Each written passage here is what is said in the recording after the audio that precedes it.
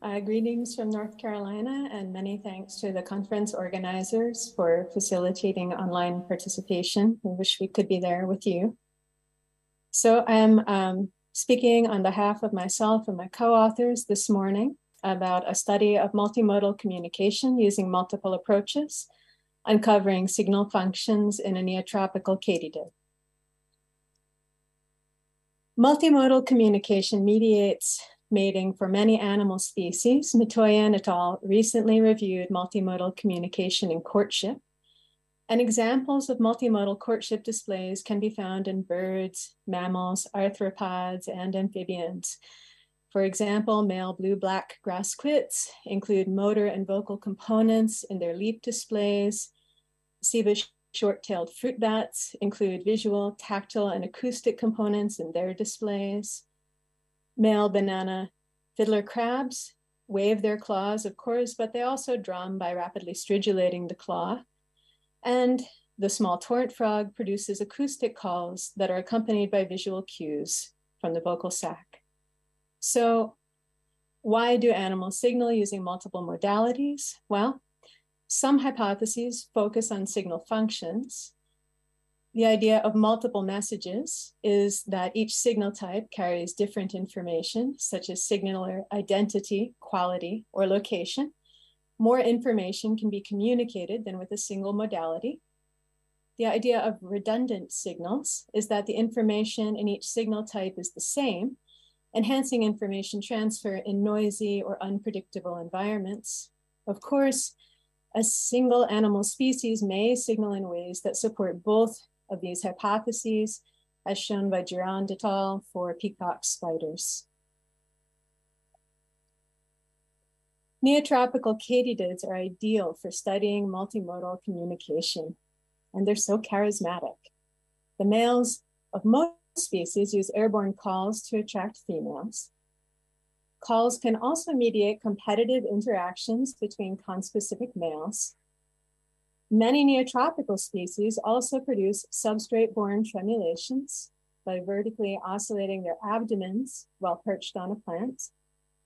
And our focal species, Docidocercus gigliotosi, produces both calls and tremulations. Uh, it's previously been reported that males tremulate spontaneously and that males and females engage in tremulatory duets. And here I'm showing you a copulating pair of the focal species. So today, I'm going to present a study in two parts. We first examined how Docidocercus uses tremulations. Um, they call, tremulate, and mate on their host plant, which is shown here. It's a large bromelia, Aechmea magdalenae.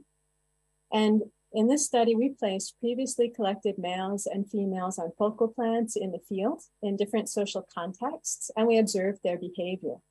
And then after characterizing their behavior in this way, we conducted playback experiments to test predictions about call and tremulation functions.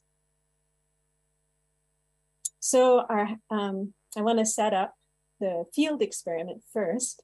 We know that signal parameters and signaling behaviors and receiver behaviors should differ between the sexes if reproductive investment differs. And in many cases, males should be more likely than females to engage in signaling that's costly or risky and females, pardon, should often use male signals to locate and distinguish among potential mates. So with this in mind, we hypothesized that males tremulate to attract females and that tremulations facilitate pair formation between males and females as in some other species. And we predicted that males should signal first um, when solitary to attract females that tremulation duets involving both sexes should sometimes follow, and that during tremulation duets, katydids should demonstrate vibrotaxis. So our general methods, we conducted both parts of this study at the Smithsonian Tropical Research Institute on Barro Colorado Island in Panama during the winters of 2019 and 2020. And our observations were conducted at night between 8 p.m. and 1 a.m. Two microaccelerometers were affixed with wax to the undersides of separate leaves of a focal plant. We used, we alternated among three focal plants in the field. And katydid behavior was recorded with infrared video, and we made continuous focal observations using red light. So we described the communication and mating behavior of Docidocercus in four social contexts, solitary males, solitary females, male-male pairs, and male-female pairs. And to do this, either one or two laboratory maintained animals were placed on this plant that was relatively isolated from surrounding foliage in the forest. And then katydid behavior was recorded for 30 minutes unless a pair was interacting. And in this case, observations continued until a katydid left the plant or copulation was complete. And I'm showing you Alina Iwin, uh, the co-author who conducted the majority of this work. So I'm going to quickly show you because I can, maybe I can. I'm going to quickly show you a couple of examples of the kinds of video we got from this work. So here you can see a male and down below you can't quite see, there is a female on this plant and it's going to happen very quickly. The male will tremulate and the female will move. and the females are pretty fast. Now I've muted it um, intentionally because in addition to picking up the tremulation, the plant is also picking up a lot of ambient jungle, um, lowland forest noise, which is quite loud. And in this case, we have a pair, here's the male, here is the female, and they are going to both tremulate in a duet. There's the male, the male again and the female.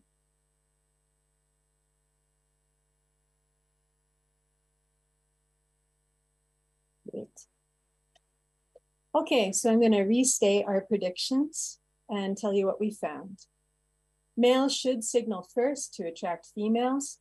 Indeed, nine out of 10 solitary males called and tremulated, and zero out of 10 solitary females tremulated. So that prediction was supported. Tremulation duets involving both sexes should sometimes follow. Five out of the 15 pairs engaged in tremulation duets. Male tremulation rate increased in the presence of a female, and two out of the five male and female pairs that um, had tremulation duets copulated after duetting. So this prediction is also supported. During tremulation duets, katydids should demonstrate vibrotaxis we are in the process of generating ethograms to represent transitions between the combined behavioral states of the males and the females. So I can't answer this question for you yet based on these data, but I will show you some other data before the end of the talk to address this prediction. I want to highlight that the solitary males called and tremulated and then take us back to the next part of the study. Why do Docidocercus signal in multiple modalities? We took a function focused approach for the second part of our study. Because we wanted to understand signal functions, we examined how receiver behavior, signal parameters, and signaling behavior differed between the sexes in each modality. Our hypotheses were that signals in each modality should provide information to receivers about species and sex, and that they should influence inter and intrasexual interactions. We have four predictions, bear with me. Uh, first, that signal parameters should differ according to species and sex. Second, that signals produced by conspecifics in each modality should elicit mate finding behavior from the opposite sex. Third, that responses to opposite sex tremulation should differ between the sexes. This goes back to reproductive investment differences. And fourth, that competing males should signal in response to conspecific but not heterospecific male signals. Okay, methods for this portion. We quantified parameters of male and female tremulations. The calls of Docidocercus gigliotosi were previously described, and we know that only males call. And we know um, from this previous work that their calls um, the parameters of those calls differ from other species. So calls already uh, potentially provide species and sex information. So we quantified parameters of tremulations, and then we conducted playback experiments in a controlled setting. We measured the responses of male and female um, Docidocercus gigliotosi to female or to signals that varied by modality, species, and sex. So the stimuli were played to katydids on one of two similarly sized potted um, bromeliads. And on each bromeliad, two leaves that were each about a meter long were used as the stimulus source and katydid introduction leaves. And we alternated between plants and leaves for each trial. And it was set up basically the way you see here. We recorded stimuli from male and female conspecifics and also from one other species for playbacks of heterospecific signals. We recorded calls using an ultrasonic microphone and played them from an ultrasonic speaker shown here. And we recorded tremulations using microaccelerometers and we imparted them to leaves using a shaker shown here. And then we calibrated playback amplitudes of both modalities to those of the original recordings. And I'm going to show you an icon because as we get into these data, it's really helpful for keeping track of things. So on the figures, I'll show you icons like this that indicate what we played and what receiver response is being measured. So here, opposite sex tremulations are being played, and you're looking at either male or female behavioral responses. In this case, male calls and tremulations are being played, and you're looking at female responses. And male calls and tremulations are being played, and you're looking at male responses. Okay, so I'm going to restate the predictions again to help us keep track. And the first one was, I have to adjust something in my ah, Zoom screen, if I can. Maybe I can. There we go. So substrate-borne signal parameters differ according to species and sex. Indeed, tremulations do differ by sex in two parameters. Peak frequency, you can see that female tremulations on average have a lower peak frequency than males. And also um, female energy is distributed across a greater um, range of frequencies than males. So 90% bandwidth on average is greater for female signals than for male signals. We also saw that receivers appear to distinguish between species via calls and tremulations. Both sexes tremulated more in response to conspecifics. So this first figure, I'm going to show you data from male calls and tremulations that were played to females. So we're looking at female behavior. And you can see that females tremulated only in response to conspecific calls, and not many and not too much, but this is actually a novel finding for neotropical katydids. Um, females tremulating in response to male calls has been shown for old world tropical katydids, but not yet for neotropical katydids. We also see that females tremulated more in response to conspecific male tremulations than to heterospecifics or silence. And now if we look at male behavior, we've got, let's look at this figure on the right first. So males tremulated more in response to uh, conspecific female tremulations than to heterospecifics or silence. And male calls they just are similar across treatments. Males just call, regardless of what is happening. Prediction number two, signals produced by conspecifics in each modality should elicit mate finding behavior from the opposite sex. So some females did exhibit vibrotaxis and um, also they, they not only located the sources of vibrations, but also calls. Five females located the stimulus source, two located the speaker playing the calls, and three located the shaker playing the tremulations. We saw no evidence of vibrotaxis by males. The distances walked by females and males did not differ by signal presence or modality. So here you've got walking distance by females You've got the treatments, they walk similar distances regardless of treatment for male calls and also for male tremulations. Um, we note that they walked shorter distances during heterospecific tremulations than during silence. Prediction three, responses to opposite sex tremulations differ between the sexes. So here we're looking at female behavior again, and females walked longer distance, well, we're looking, sorry, at um, both female and male behavior. Females walked longer distances than males overall. So we've got distance traveled, females shown in white, males shown in gray, and across treatments, females walk farther. And then we also saw that males tremulated more than females. So here we have number of tremulations on the y-axis, males shown in gray, and females shown in white.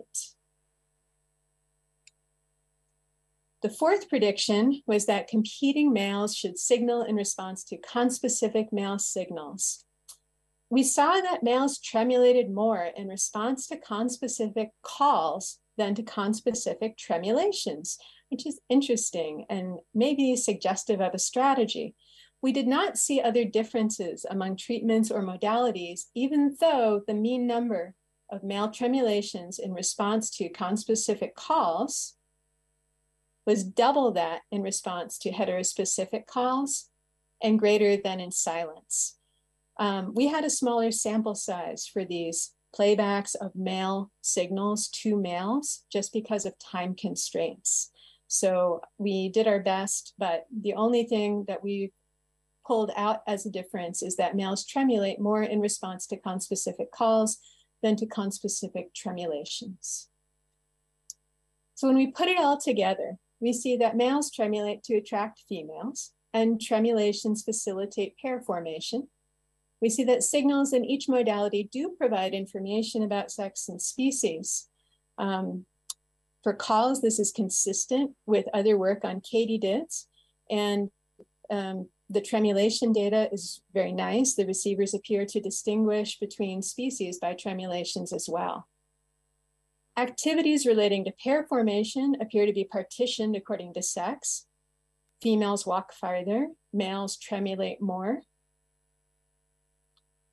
Why does docidocercus signal using multiple modalities? When we come back to the hypotheses, our findings mainly support redundant signaling. Both calls and tremulations are species and sex specific. Males produce both signal types spontaneously, and females tremulate in response to both signal types. However, our findings might also support multiple messages or at least context specificity. Females tremulated more in response to male tremulations than to calls. And males increased tremulation rate, but not their call rate in response to female tremulations. So maybe both of these findings are driven by, can be explained by selection by eavesdropping predators, using a safer signal when a receiver is within active space and on the same substrate. However, male signals may also provide information about body size or condition, and this remains to be tested. We also saw that males tremulated more in response to conspecific male calls than tremulations, perhaps suggesting a sneaky strategy. I would like to thank um, the administration and staff at STRI and Rachel Page, um, our colleagues in the Ter Hofstede lab for all of their assistance with this project and funding sources. Thank you.